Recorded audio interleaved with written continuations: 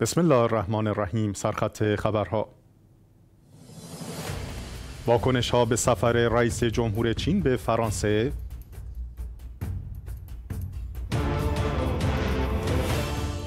نگرانی مسلمانان از دوره سوم نخست وزیری نارندرا مودی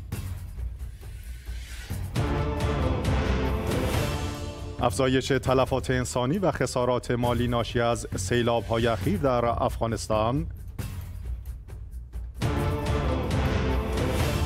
و آیت الله العظما شیرازی در غیر از مسائل دینی و شرعی اگر میان اهل خبره اختلاف پیش آمد مراجعه به یک نفر اهل خبره سقه برای کسب اطمینان کافی است.